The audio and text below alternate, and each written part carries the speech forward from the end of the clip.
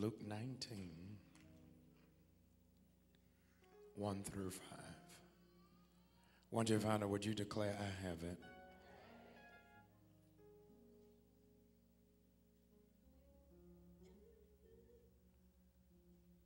Jesus entered Jericho and was passing through. A man was there by the name of Zacchaeus. He was the chief tax collector and was wealthy.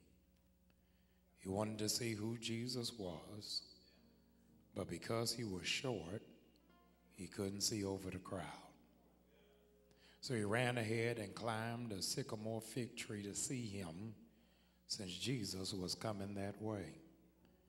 When Jesus reached the spot, he looked up and said to him, Zacchaeus, come down immediately. I must stay at your house today.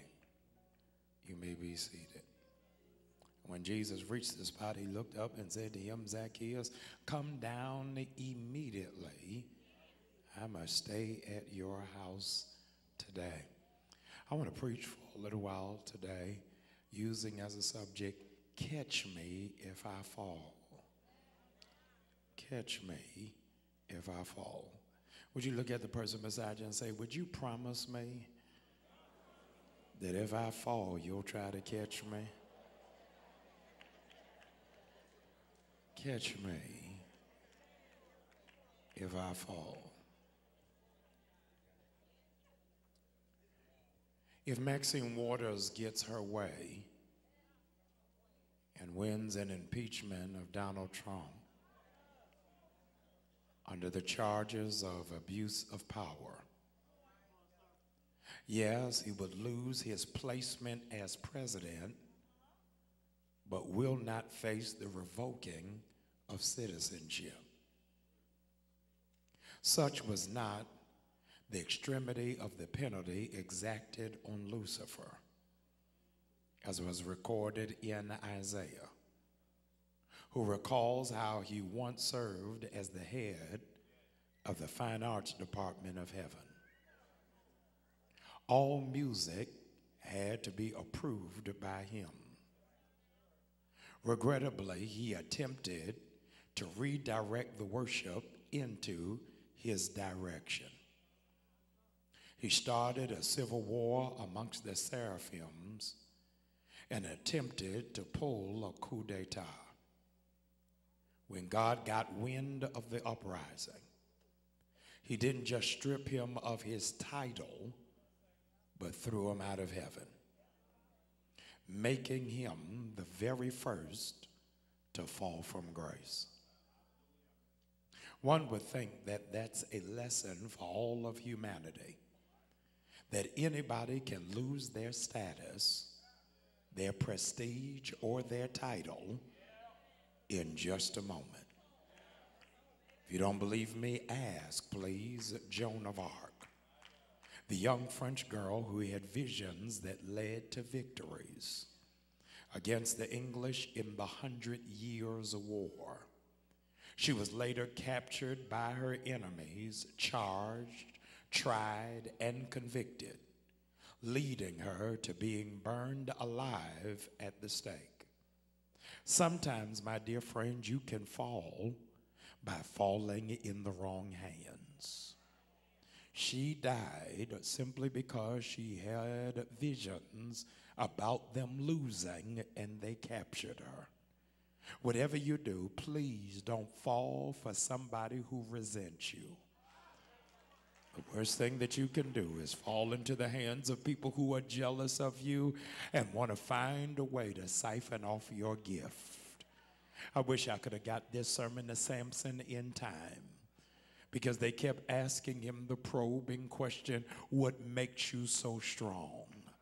They were not enthralled by his, by his personality, his wit, charisma, or charm. They just wanted to know the secret of his strength. And regrettably for Sam, he fell into the hands of a reckless barber.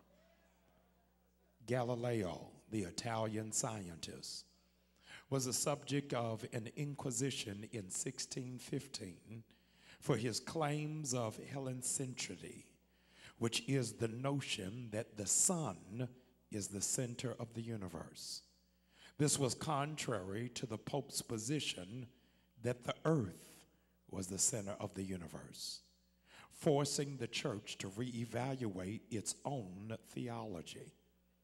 They forced Galileo to recant his claims and placed him under house arrest until his death.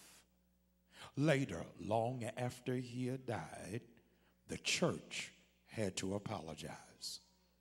Might I say to somebody who's in close proximity to you, sometimes it's not a fall, but you are being thrown down because you think outside of the box. And you are, in fact, staged and centered around stagnant people. Galileo is a lesson for all of us that sometimes uh, your stifling is not from satanic properties. But sometimes your satanic, your stifling comes at the helm of the church. Because the church becomes wedded to tradition over revelation that we are so connected to what God has done that we miss what God is doing. And I'm believing for 50 of you who are in this room that God is breaking you away from religion and freeing you into relationship. The call of God, hear me, is not for you to just know the doxology, for you to just know the three chords, amen, but do you know God for yourself? If in fact your coming to God in church is just about ritual, uh, so that you know all of the liturgy, but you still don't know how to get to the foot of the cross, then it is in vain. God needs your heart more than he needs your attendance. And a whole lot of you have perfect attendance, y'all not saying anything, but you still haven't given God your life. It is my prayer that this summer that you will get an earnest relationship with God to the extent that when you need a prayer, you don't have to track down the pastor, but you know how to pray for yourself. I can't hear nobody that when you need a word from God, you don't have to wait all the way till Sunday and it's Wednesday afternoon, but you know how to seek out scriptures for yourself. And that's what God is calling for. Recently, the British Broadcasting Company aired the controversial documentary entitled Bill Cosby Fall of an American Icon. It opens with glowing praise outlining how the trailblazer was the consummate role model, father figure, great husband, and redefined the human existence for black people in America. He challenged the stereotype of blackness being wrongness to, in fact, exuding and exemplifying ebony excellence. Before the Cosby Show, I don't know whether you know that Bill Cosby had three consecutive Emmys for I Spy. And then the program takes a dark turn. Watch this when woman after woman after woman after woman after woman after woman after woman after woman after woman after woman after woman after woman after woman after woman after woman after woman after woman after woman after woman testifies he drugged me he raped me and then he threatened me. Because of the statute of limitations, the trial he is now on is representing just one of 21 accusers. His name has summarily been taken off un- university buildings. His star has been stripped from Hollywood's Walk of Fame. His reruns are no longer on rotation, and his entire legacy is being obliterated. His fall is really a jump without a parachute because of delusional invincibility. So many people, once you get elevated, you believe that you cannot fall. Such was the lot of so many corporations on Wall Street that birthed the book Too Big to Fail. But I want you to know this you got to be careful how you treat people going up Hallelujah. Because you're going to pass those same people when you're going back down. Don't be so reckless that you convince yourself that you won't have an accident. That still can be a crash that will burn your credibility. And you've got to, in fact, begin to pray in earnest Lord, don't let me fall. I need 80 of you to just pray that with your pastor. Would you lift up that hand as high as you can? Would you pray it with everything that you can from your spirit? Come on, everybody, would you declare it out loud? God, don't let me fall. Hallelujah. I need you to say it again. Lord, please don't let me fall. See, some of y'all can't pray that prayer because you believe uh, you always gonna stay on top. You believe uh, you always gonna be where you are. But I talk to some of you who you're praying, uh, Lord, don't let me fall. And I'm not talking about the status, but here's for 80 of you, don't let my health fall. Please don't let my vision fall. Don't let my mental faculties fall. Please don't let my family fall apart. Don't let my marriage fall. You, you, you, you got to pray, Lord. Don't, don't, don't let me fall. You, you got to keep me in the position here it is that you've put me in so I don't talk myself out of it. I'll never forget this. It was about seven years ago. Seven years ago, uh, Bishop Jakes called up my father and asked him to come preach uh, for manpower. He asked him to come preach uh, for manpower uh, in Dallas, Texas. Thousands upon thousands of men are coming. And Bishop Jakes called Bishop Bryant, said, I want you to come preach for manpower. And uh, I, I, I, called Dad. I, I, said, Dad, Bishop Jakes wants you to come preach at Manpower. Can you check this date for me? He's waiting for me to call right back. Uh, he said, Give me just one minute. And uh, he got on the phone, said, Jamal, tell him I can't do it. I, I, said, uh, no, uh, Bishop Jakes wants you to come preach uh, for him at Manpower. It's going to be thousands upon thousands upon thousands of men. He said, no, I, I, I heard you. I can't do it. I said, why, why can't you do it? He said, I'm preaching that day. I said, I said, I said you, you preaching somewhere outside of MegaFest where, where you preach? He, he, he, said, I'm preaching for Usher's anniversary. I said, I said, no, man, cancel the Usher's anniversary and go preach for Bishop Jakes. He said, no, uh, Jamal, integrity's got to mean something.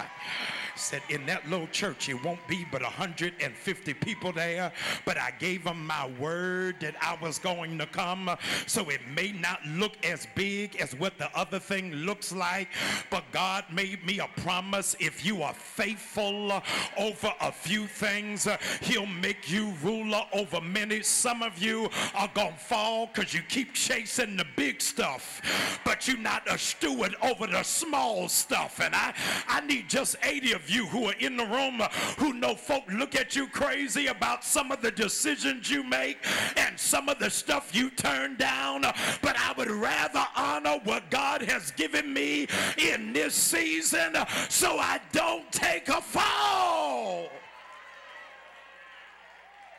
The sobering reality is that you can go down fast. Did y'all hear what I just said? I said, you can go down fast. You can live your whole life and one incident, one accident can take you out of the realm of everything that you've worked for. I know some of you are not in danger, but for the few of us who are, I need you right where you are. Elbow your neighbor, tell them, pray for me, please. Because in this season of my life, I cannot take a fall. Hallelujah. When I was younger, I could bounce back quicker. But now I done worked too hard. I done sacrificed too much.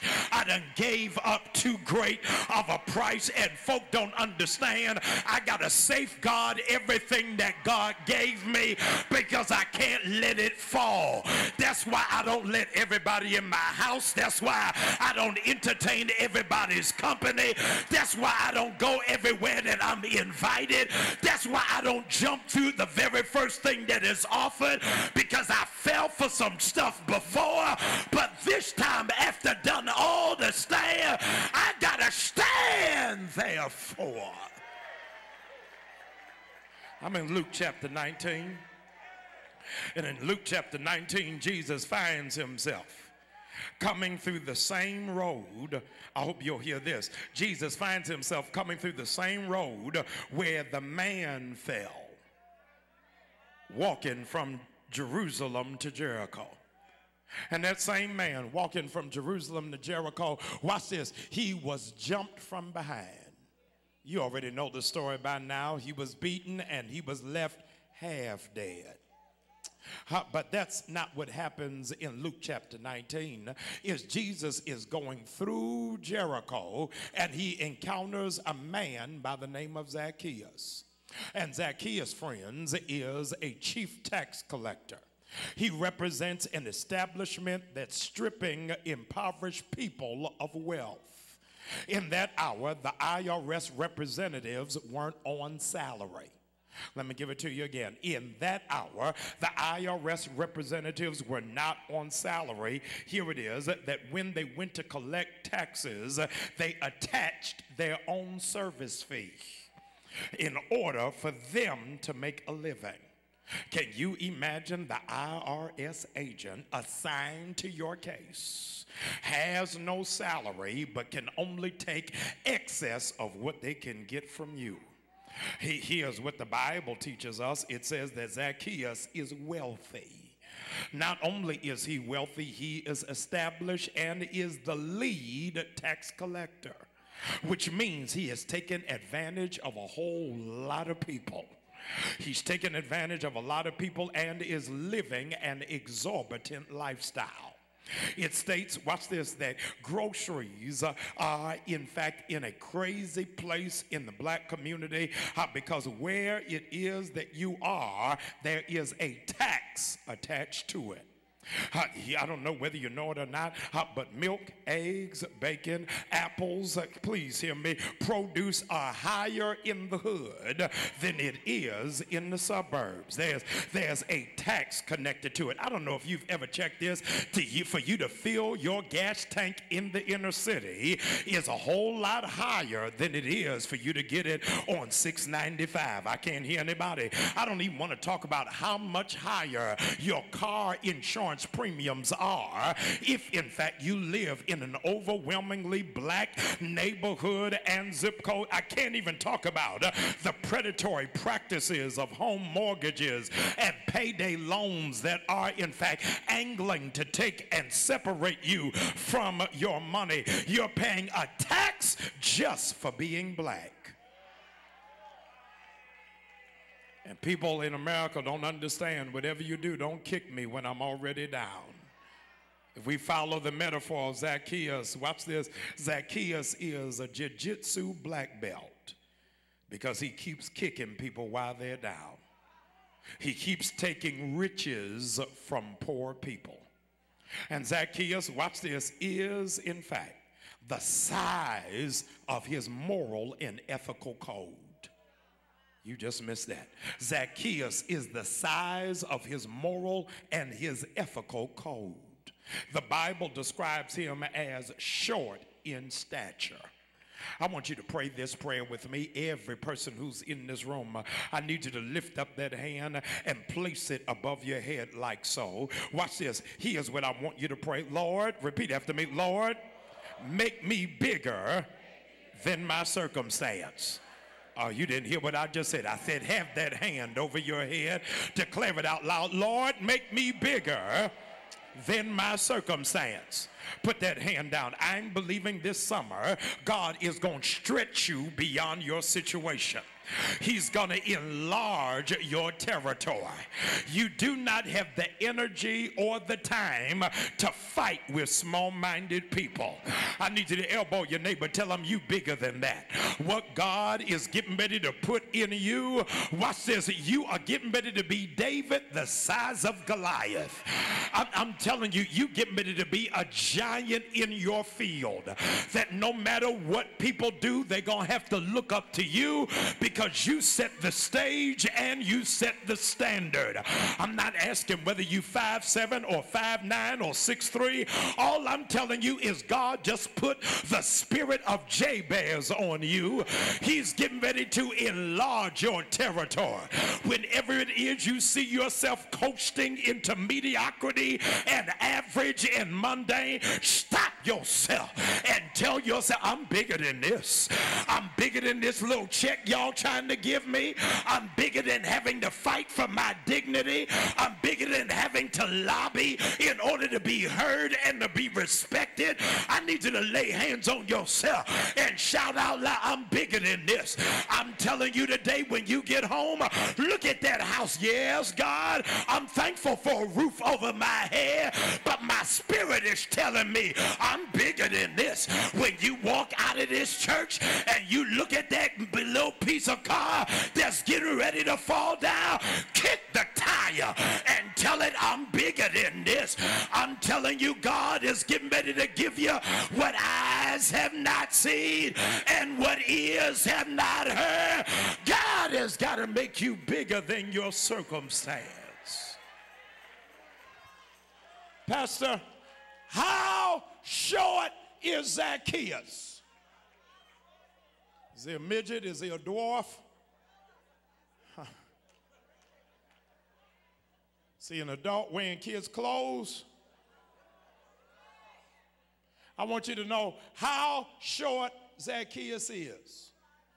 This is how short Zacchaeus is. Empowerment, I don't want you to miss it. He is short because he can't see past people. Y'all, y'all, y'all just missed that. He, he's in the crowd, and because of the crowd, he can't see Jesus. You are always going to be short if all you can see is what other people think and what other people say and what other people believe.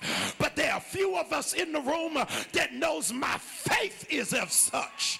I got to go beyond what people said about me. I got to see beyond what they feel about me because I believe what God has for me is not limited to other people's opinion about me. I need you to tap the person in front of you and tell them my destiny is beyond you. There's nothing you can do to block me. There's nothing you can do to slow me down. There's nothing you can do to stop the call of God that is on my life because I got to see past people. I see beyond what you did to me.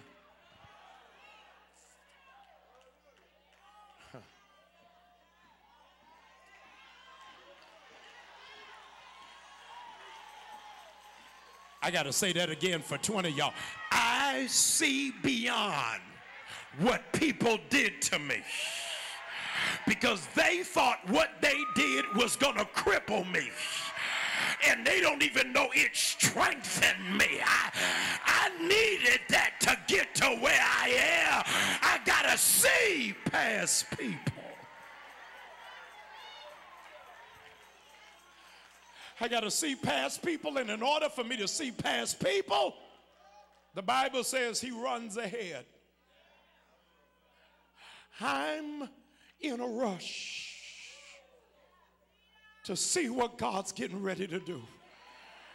God, you, you just missed what I just said. I, I am in a rush to see what God is getting ready to do. Get out of my way if you ain't gonna worship him. Move, move out of my way if you ain't gonna give God glory. Please, please don't just sit here if you ain't gonna give him praise. I'm trying to see what God is gonna do.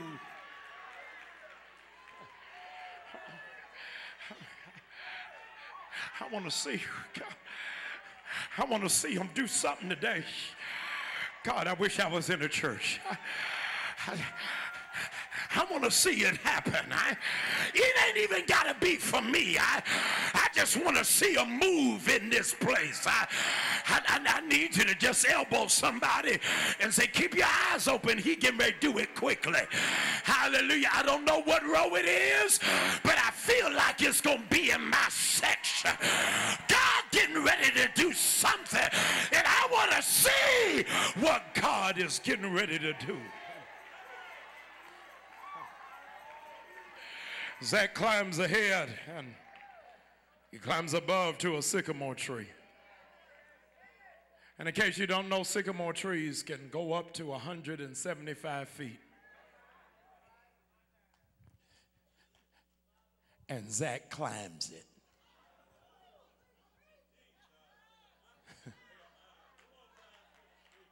Sycamore can go to 175 feet. And Zach climbs it. The leaves on a sycamore tree average half a foot. God help me. And uh, uh, um, the branches are so long they get twisted. Um, and Zach climbs it. 175 feet. Just so I can see Jesus. I don't think too many of y'all are going to shout me. Maybe the, just the first three rows. Can, can you imagine that sometimes God elevates you just so you can see him? Hallelujah. It ain't for you. He just wants you to have a better look of what he's able to do. I, I came to tell the real worshipers, get ready for elevation. Get, get ready to go to a whole nother level. It ain't so you can floss, it's so you can see him. He elevates him 175 feet. And Jesus is walking by. And sees him. God help me. He, he sees him, and I, I don't know whether you can handle it because this time Jesus is not at the naked fig tree. God help me. He sees him 175 feet in the air. Non Bible readers are not going to pull this together. Did I tell you the leaves are half a foot? And the question you got to be asking as emerging embryonic biblicists is how does he see him? He sees him because Aunt Cynthia, uh, Zach is starting to look like Adam.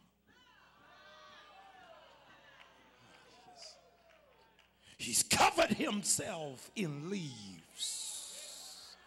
God help me in the moment that God is coming because of all of the filth that he's done. He wants to see God, but he doesn't want God to see him. I can't hear nobody, and I, I'm talking to a few of you who are in the room that says, yes, I want to see a move of God, but God, I'm not sure I want you to see me right now because I've done some stuff and I, I went some places and I mistreated some people.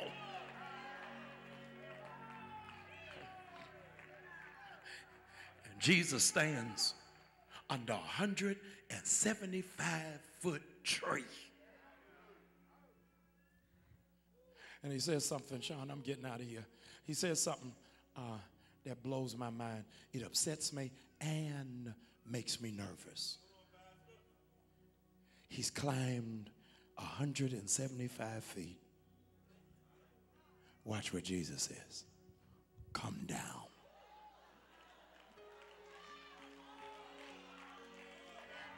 God, I can't hear nobody. And then that next word is what scares me. He says, Come down. Here's the word immediately. God, I, I, I, hope I can find somebody in the room. And Zach got to make a critical decision. I got to get to Jesus. Why? Because he's calling me. Hallelujah. And, and he wants to get to Jesus as fast as he can. So he's got to make a calculated decision. It's too risky for me to climb. God help me. Can, can I jump down the way he is? And here's where some of you ought to have solace is that Zach rationalizes to himself, if I jump, he'll be there to catch me. Hallelujah. And I, hallelujah. Maybe this is just for me. Some of y'all don't need this. But some of us ought to be giving God glory that I fell from where I was, but I didn't get hurt because he was right there to catch me from. Hallelujah. To catch me from my fall. I'm not preaching to stuck up people. I'm I'm talking to some of you who need to know this, and I hope you'll worship him with a whole heart. Is the fall is what got me to him. God, I can't hear nobody. Had I stayed up in that lofty place, I would have never got in his arms. But it was the fall that made me get right to his heartbeat. In Genesis 3, we have the fall of man. But in Luke, watch this, the man jumps. And he says, I need you to, to fall. Watch this. So, number one, you know that I'll catch you. And number two, because I need you to know, watch this. Unlike everybody else that I've called in Luke, I'm not calling you to send you. I'm calling you Watch this. Because, Zach, I got to get you home.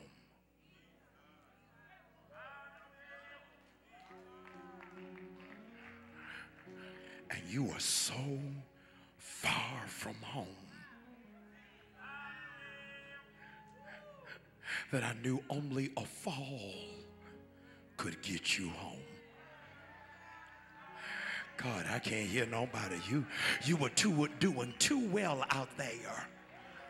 But sometimes I got to make you go through something just so I can get you back home. Some of y'all don't even know what I'm saying. Sometimes this is just for 30 of you. Take your hand off your child. Sometimes they got to go through a fall just so that they can find out who God really is.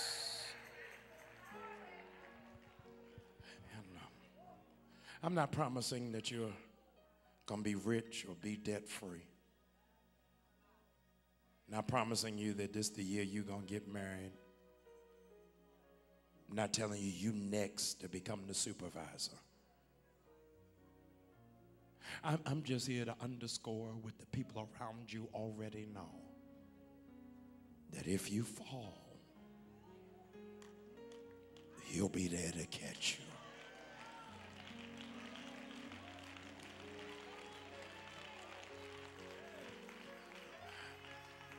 My time is up. I am. My time is over. I am. But I, I, I, I got to open this altar for 90 seconds for people who've fallen back into a cycle. And it just dawned on you, he caught you. You done relapsed in the drugs, alcohol, gambling. And the only reason why you are alive from falling from that is he had to have been right there. 10% of Baltimore's citizens are addicted to heroin which means I got a heroin addict in this church right now. And God caught you. God, I can't hear nobody in here.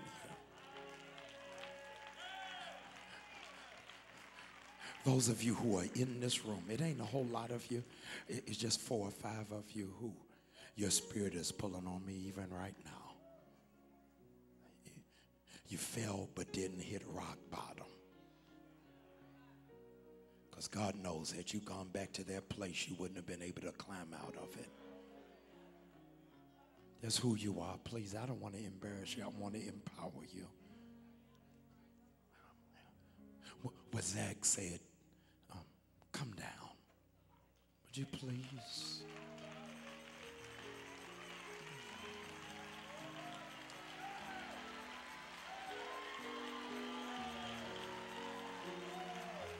Come on.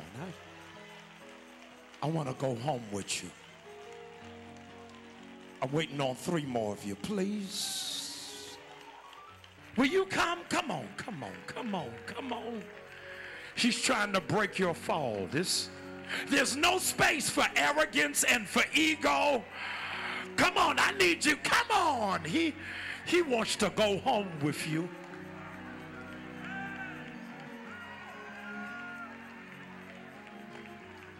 I'm waiting on one more person. Come on, I can't hear you. Hallelujah. This is our year of full recovery. I said, this is our year of full recovery. It ain't gonna kill you. Come on, I can't hear nobody. I'm waiting on you. He's gonna catch you if you fall. Hallelujah. I'm waiting on one more person. My spirit can't get released. Wherever it is that you are, I need you to come. You can't go back to that person. You can't go back to that lifestyle. You can't go back to that cycle of behavior. Zacchaeus, come down. I, I want to go home with you. Come on, wherever you are. Would you come? You holding up the whole service. I need you to come. I need somebody to give God glory like God is able. I can't believe y'all gonna act stuck up like that. Come, come down.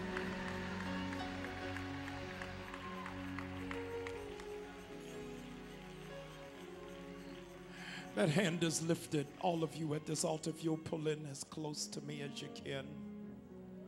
Hallelujah.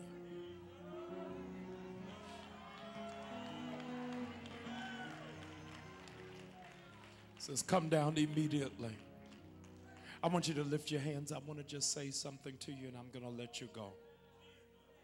He says, Zach, I got to do something in your life. But I can't do it around all these people because they want me to judge you, they want me to scold you, they want me to rebuke you. And the problem is, they don't understand you're still my child.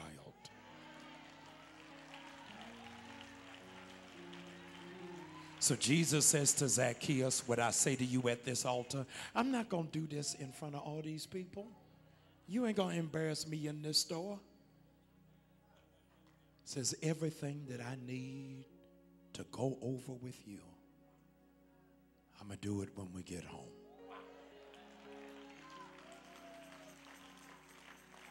Would you lift up that hand, please? I pray that when you get home, the presence of God will meet you there. I pray that your home will turn into a sanctuary. That when you get home, you'll feel the presence of God. That God will give you peace. God doesn't want to guilt you, He wants to transform you. I pray that today starts a new chapter of your life that old things have passed away and all things are becoming brand new. All of you at this altar, lift up that hand as high as you can. I can't wait to see what God's going to do when you get home. And when you get home, here's for 80 of you that are shout, it's going to happen immediately. God, I wish I was in the church. I said, when you get home, it's going to happen for you immediately. And I declare that it is so. In Jesus' name. Empowerment, partner with me in faith do me a favor, please. As they go back to their seats, Would you shout for them like a miracle is waiting at home? You can go back to your seats. Come on. I can't hear you. I said, give God glory like a miracle is waiting at home. Y'all got to shout better than that. You got to give God better praise than that. You, you got to give God better glory than that. A miracle is waiting at home.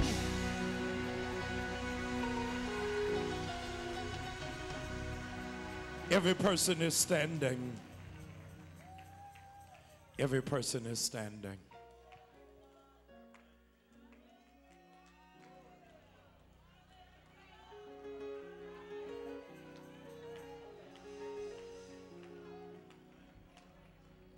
Those of you who believe by faith, we're going to give the devil a nervous breakdown today.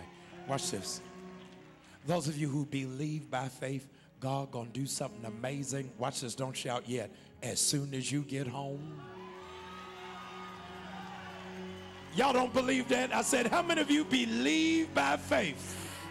You ought to shout like your phone is going to ring like there's going to be a message at the door. I can't hear nobody. Like whoever is in your house is going to have an attitude makeover. God is going to do something when you get back home.